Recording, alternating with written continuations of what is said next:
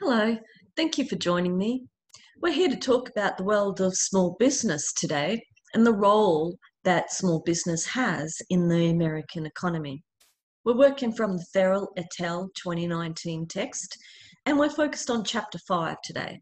So let's get going. Okay, I'm just going to share the screen here. And here we go. Right, so the chapter is titled Small Business, Entrepreneurship and Franchising. The learning objectives look at definitions for entrepreneurship and small business and the importance of small business in the American economy. We look at the advantages and disadvantages of small business ownership. And then we move to how do you go about starting a small business. We look at the demographic technological and economic trends associated with the future of small business. And then we end the chapter with an explanation as to why many large businesses are actually trying to think small. Okay, so entrepreneurship, what is it? Well, it's a movement and it's accelerating, and um, many new, smaller businesses are emerging as well, and we can recognize these as micro entrepreneurs. Technology is facilitating the way, so uh, regardless of the size of a business, um, the internet has opened the world. Uh, so uh, even a small business can be a global business. And uh, technology is also enabling other mechanisms such as podcasting and social media distributions. All right. Now, a growing trend in entrepreneurship is social entrepreneurship. Social entrepreneurship is focused on social change. And an excellent example we can put forward here is the Grameen Bank. The Grameen Bank is an Indian organization that started in the 1980s. Um, and because a need was recognized in uh, amongst people living in poverty in India that even a very small amount of money loaned to an individual so that they could start a business of their own has a, an ex has a significant impact for the community. And so Grameen Bank started uh, loaning amounts as small as $300 to women in the villages. And this enabled the women to put food on the table for their children, send their daughters to school, and uh, effectively um, contribute to community development. We've got many examples of great entrepreneurs over the years, and Table 5.1 gives you um, uh, uh, ident identify some of these highly visible um, entrepreneurs. Some are still with us, some are not. All right. So what is a small business? It's independently owned and operated. It's not dominant in the competitive area. It probably employs less than 500 people. Um, and, and it is about for example, um, identifying a problem that can be solved. So small business owners and operators are problem solvers. Now, the government recognises the important role of small business in the community, and therefore they have a government division referred to as the Small Business Administration. Now, while this is a federal government division, it actually has localised offices. So, for example, in Nashville, Tennessee, there is a small business administration offer, office. And at this office, small business owners and operators can get assistance with regards to management and finances. So, um, a very important part of operating a small business in the current context is dealing with the coronavirus. And uh, the Small Business Administration has taken a leading role to assist small businesses trying to navigate this precarious global pandemic that we currently are experiencing. So, the importance of small business in the American economy is recognized in that small businesses represent more than 99% of employers. Um, small businesses are generating 63% of new jobs, and small businesses hire about 37% of very specialized technical workers. Small businesses also produce patents at a prolific rate, um, 16 times more patents per employee than large patenting organisations. And small businesses employ nearly half of all private sector employees. Small businesses also pay 42% of the total US private payroll. Okay, so table 5.3 here gives you summary of the number of organizations, the number of small businesses that employ these various uh, levels of um, workers. So 60, nearly 67% of small businesses are employing less than 20 employees. So the role of small business in the American economy is actually really important. More than that, we have to recognize the trend of female entrepreneurship and female owned small businesses. More than 9 million businesses worldwide are owned by women. These businesses include professional services as well as retail operations. Uh, maybe other service organizations such as uh, administrative services. Minority owned businesses are a fast growing trend as well, and they represent um, nearly 30% of small businesses. And Black entrepreneurship, for example, has uh, these networks emerging, such as Sister Biz, which is a global network for Black women entrepreneurs specifically. So, in other words, it's about Black sisters coming together to collaborate and help each other, lifting up each other in the global business network. Okay, so we've said that uh, small businesses generate about 63% of new jobs and uh, 82% of small businesses employ less than 500 workers. Uh, small businesses are highly innovative and while many large organizations actually started as small businesses, as they grow up, maybe the innovation levels decrease. And, and that's because small businesses are more agile in the way that they make decisions and take risks. We'll come back to that. Many industries attract small businesses, such as retailing, wholesaling, service industries. Service industries represent 80% of US jobs. Even manufacturing and technology industries attract small businesses, as does the sharing economy. Now, let's be more specific here. What we're talking about is that every single Uber driver is a small business operator because they are not an employee. They are a contractor. Same with Airbnb rental operators. They are small business owners and operators. Um, and they are participants in the gig economy.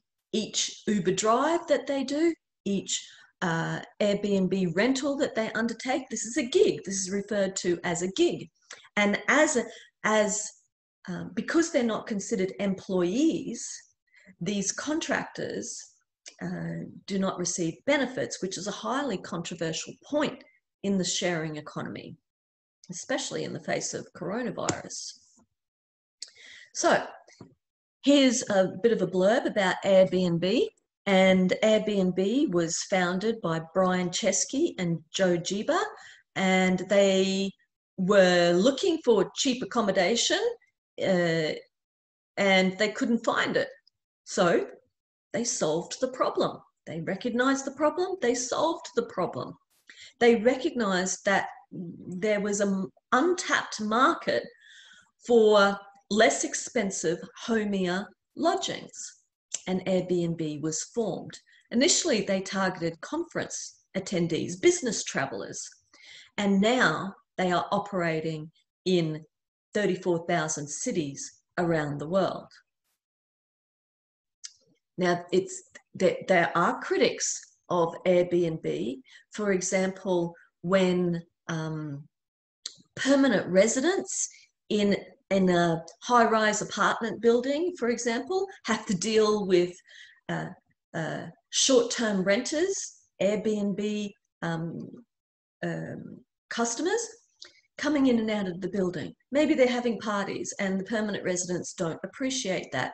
So the the traffic associated with Airbnb, not, not just the vehicle traffic, I mean the customer traffic associated with Airbnb can be disruptive to a community. And so many cities around the world, including in America, have introduced regulations that um, might even discourage Airbnb rentals. Okay, now let's come back to the advantages and disadvantages of small business ownership. The advantages include the independent nature of small business ownership. The advantages also include the flexibility and focus that can be achieved with small business ownership. And the reputation of the owner definitely is reflective of the small business itself. So, small business basically trades on its reputation.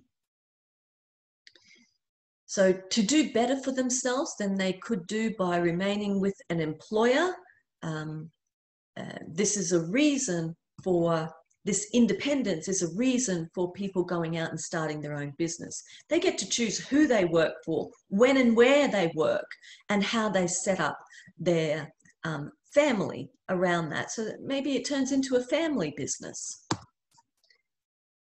um, many, let's just go back to that point, many um, at home mothers uh, have deliberately left their employment, their employer, to raise a family. And in that context, maybe they build up a business that um, can accommodate their at home situation.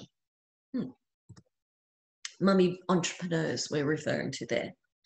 Okay, so another advantage of small business ownership is that um, it's less costly in terms of wages and rent and utilities um, than, than a larger business.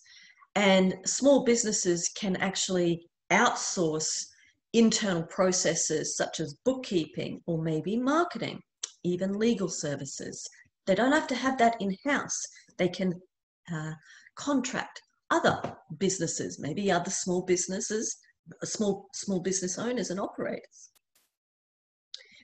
And with regards to family, maybe family members may be commandeered to come and help at certain times. And, you know, essentially that's free labor or minimal cost at least. Um, now, the small size of a small business enables fast market adaptation you can see a change or a trend in the marketplace. And because you're operating a small business where the people with authority, the decision makers are very close to the ground floor of the business, then they can adjust and therefore capture the opportunity that they see in the marketplace. Okay. Uh, then in terms of focus, small business owners can focus efforts specifically on a narrow market niche and they can monitor the changes in that market niche to ensure that they stay on point in meeting the needs of that identified market niche. And larger organizations may well overlook such niches because uh, maybe the niche is not large enough for um, uh, a large organization to be bothered. Therefore, there's the opportunity for the small business owner. And because of the capacity of small business owner, owner operators um, to focus on these narrow niches, they develop um, a reputation for quality and service in that particular area. Now, the disadvantages high stress, high failure rate, um, uh, lack of resources, lack of capital, inexperience in business or management, maybe incompetence, uh, maybe denial of that incompetence, maybe inability to cope with growth.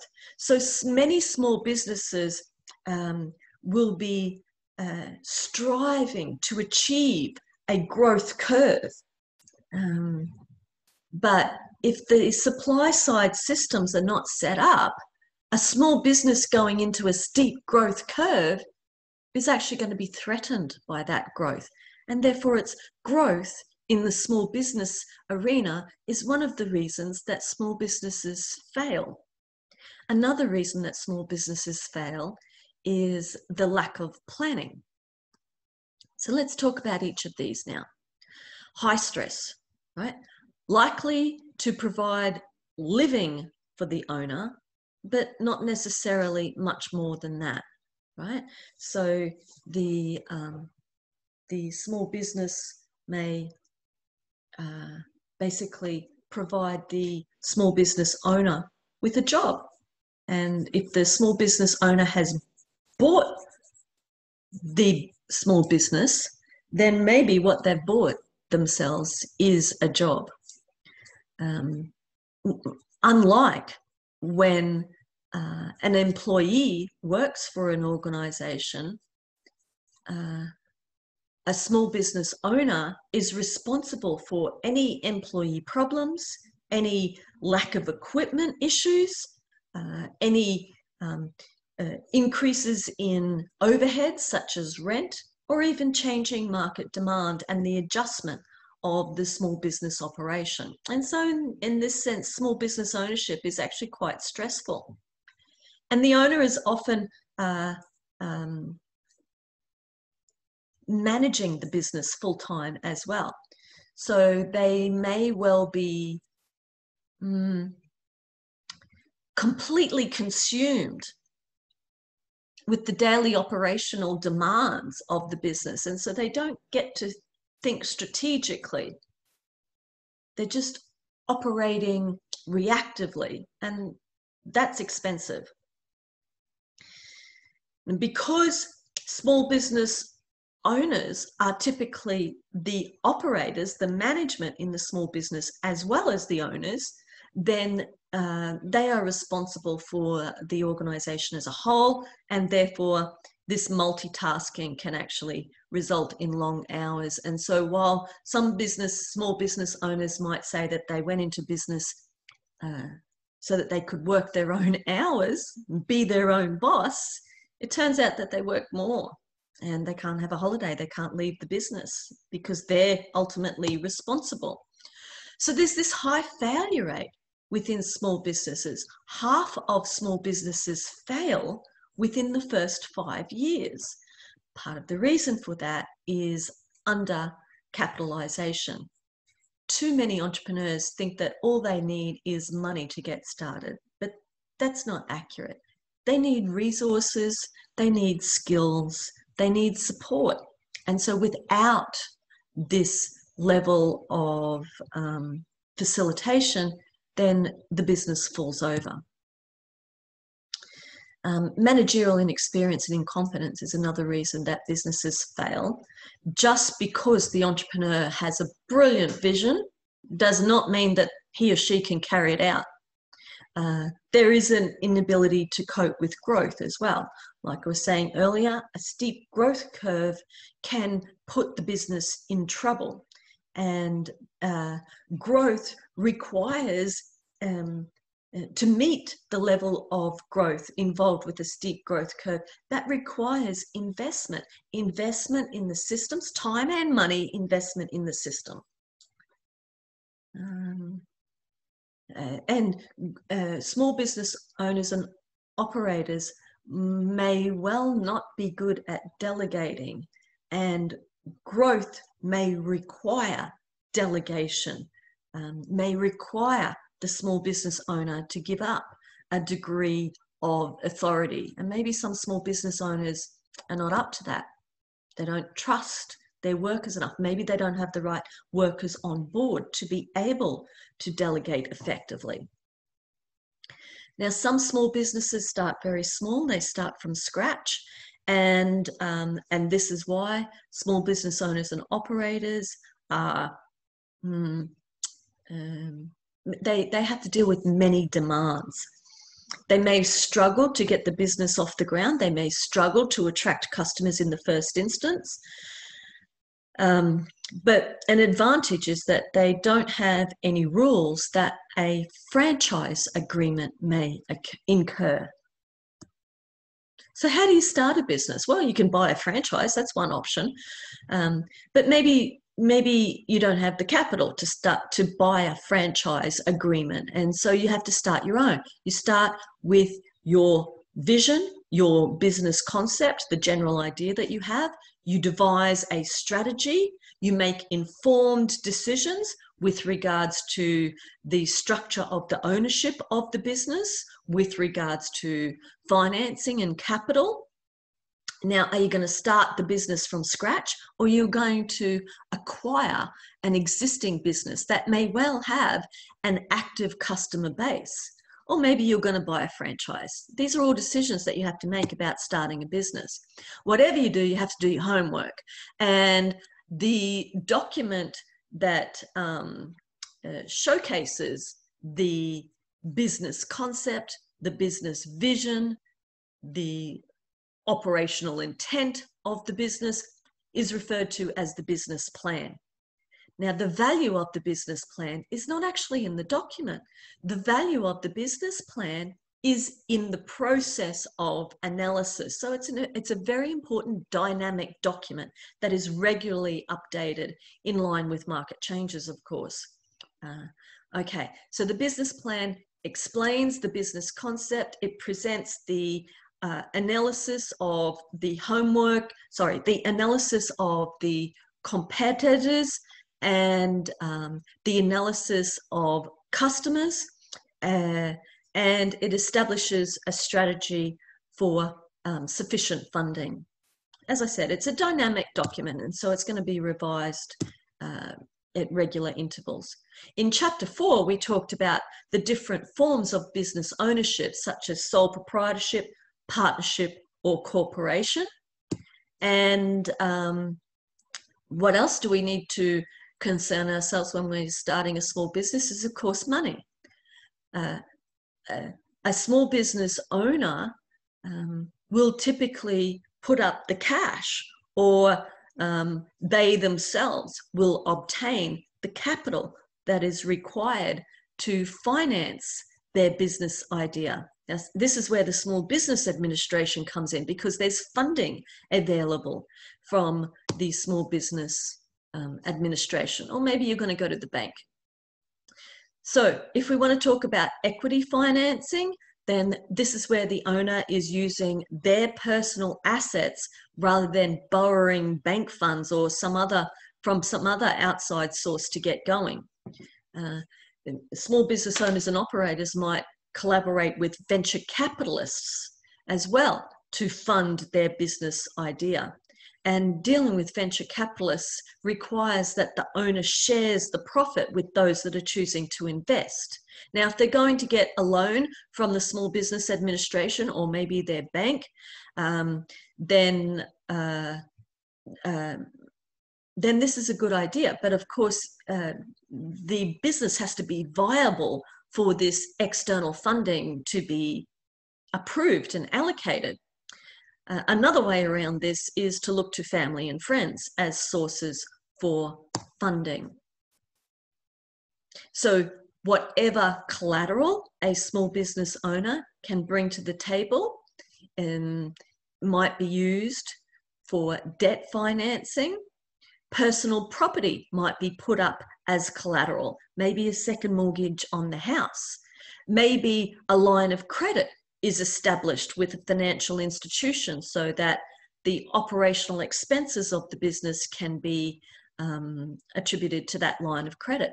Maybe trade credit will be set up where you uh, the business is allowed to um, uh, take possession of necessary goods and services and then pay at a later date, or maybe an installment agreement is made. And then bartering, where small business owners and operators might trade between themselves the necessary goods and services uh, required and essentially support each other in their business endeavors. So we need to decide um, about starting from scratch or buying an existing business when we are setting up our business. When we're buying an existing business, we have the advantage of a built in network of customers as well as suppliers, maybe distributors as well. So it reduces some of the risk. One of the disadvantages, sorry, one of the disadvantages of acquiring a business when you're starting your small business is that you're also acquiring any problems that that business already has. We mentioned franchising. So franchising is a license to sell another business's um, products or maybe to use a brand name or maybe both. So the organization that is selling the franchise opportunity is referred to as the franchisor the small business that is purchasing the franchise agreement is referred to as the franchisee. Franchising, just like any other form of business, has advantages and disadvantages. The advantages is that you're buying into an established system.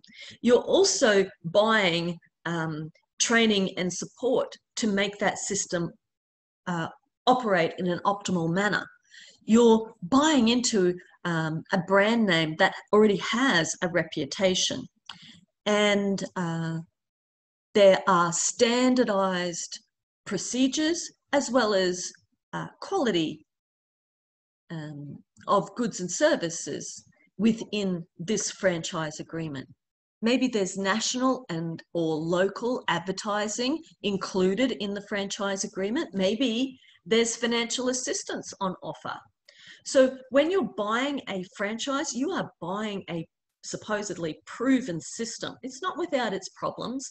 Um, but one of the advantages is that the franchise network will be able to achieve uh, economies of scale with their purchasing because they're buying for the entire franchise network, not rather than just one friend, one small business owner buying for themselves.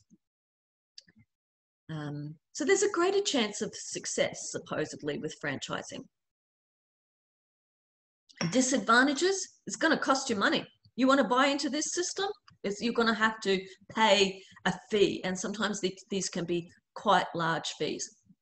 We flagged standardization as an advantage of franchising, but standardization can also be a disadvantage because you're not able to customize as you might if you were an individual independent small business owner.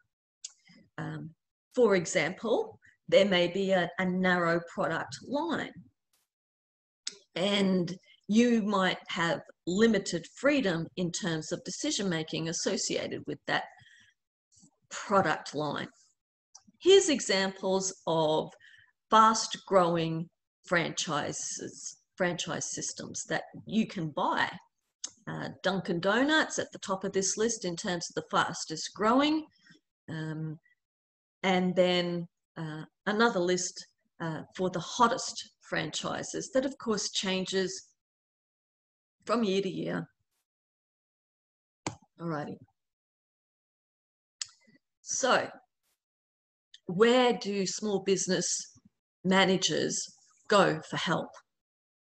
There's many entrepreneurial training net programs available, for example, through the Small Business Administration, but also, for example, through chambers of commerce and other business networks um, available locally or even globally, such as this Black Sister network that we flagged earlier.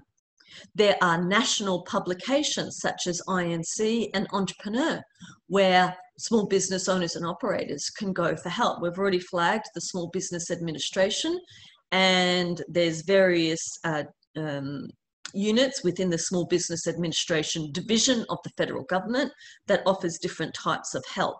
And other small businesses can collaborate together to support each other.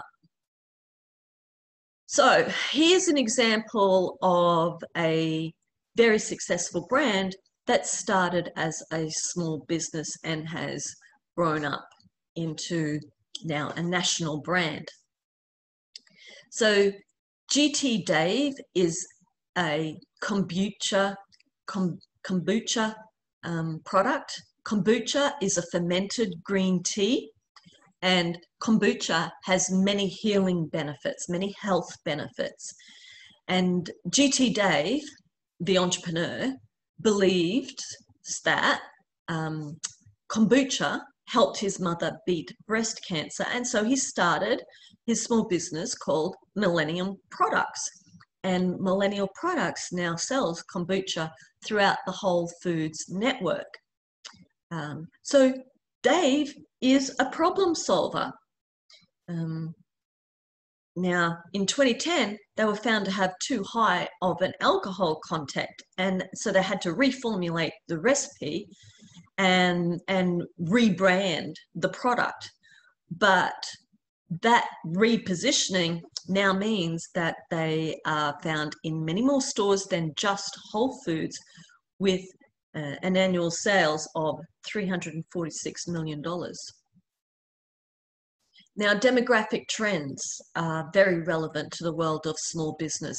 Demographic trends include baby boomers that arrived, you know, they were uh, born after the end of World War II and they were the biggest population boom in history to date when they arrived. Um, and so baby boomers consist of 75 million Americans, and baby boomers are now at retirement age.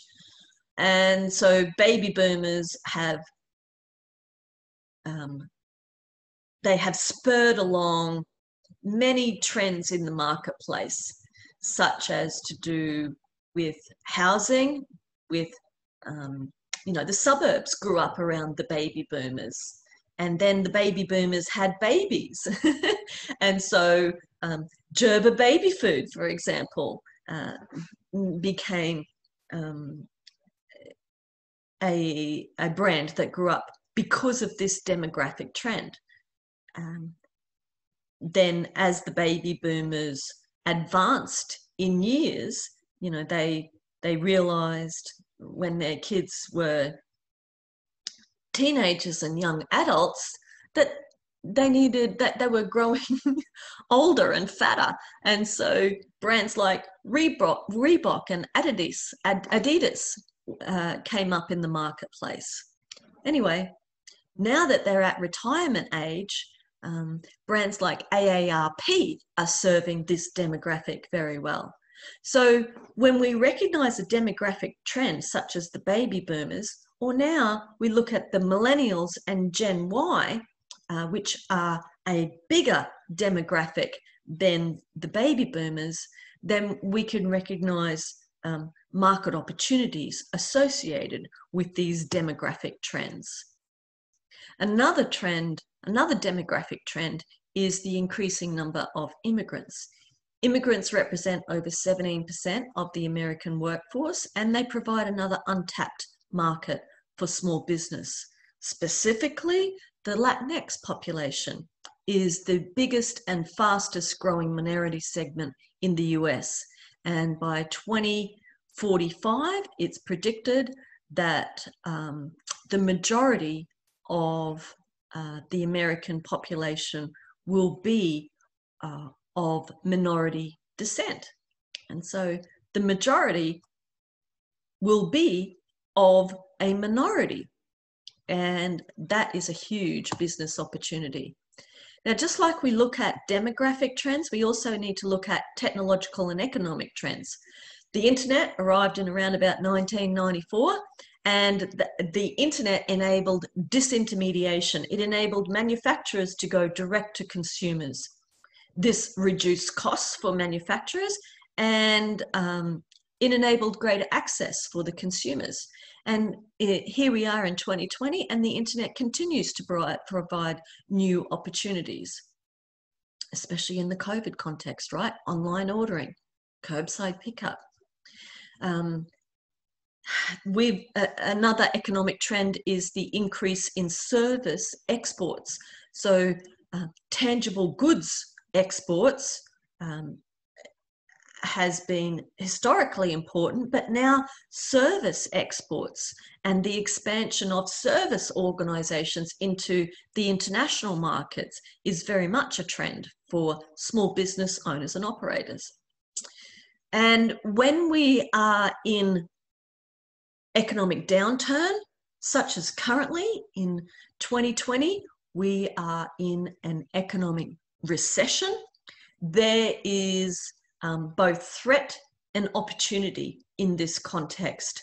Now, the good news is, is that small business owner, owners and operators, because they have the advantage of agility, they can react quickly to market changes and they can keep their market orientation, their customer orientation high with regards to what their customers' needs are. They can do that better than large organizations and therefore they have the advantage. Now, deregulation of um, traditionally highly regulated industries, such as the energy market, for example, also offers market opportunities. So global energy markets are valued in the hundreds of billions of dollars. Deregulation invites competition. So it's an opportunity to enter the market. Okay, so I have mentioned several times today that um, small business small businesses have the advantage of agility. Small businesses have the advantage, advantage of being able to react in a timely manner to market changes. And so, in this sense, large firms seek to emulate the small business operation. Um, they may even downsize or what's referred to as right sizing to reduce the management layers so they can achieve a faster decision making process. And ideally, this will make the larger organization more flexible and more innovative. Now, larger organizations may well seek to employ intrapreneurs. And what does that mean? Well, instead of an entrepreneur who owns their own business, and um, is highly innovative in whatever market space they're operating in. An intrapreneur is somebody who's highly innovative but operating within a larger organization. Okay, so um, we have examples here of uh, Sseko Designs, and this is about uh, women, uh, Ugandan women um, who have Sseko Designs have the primary motive of sending Ugandan women to college. They do that by selling artisan footwear, bags, sandals, and other products that are handmade by Ugandan women. And so this is an example of a social entrepreneurship organization. They use entrepreneurial principles to achieve social change. And the franchise model actually works well within this context. So now let's look at what are the characteristics of uh, entrepreneurs. We can say that entrepreneurs are innovative, risk takers, they are persistent, and they are very friendly. Um, here, I've given you some hyperlinks that will take you through to two different uh, assessments as to your own personal characteristics and how much of an entrepreneurial mindset you do or do not have. So enjoy and thank you for listening.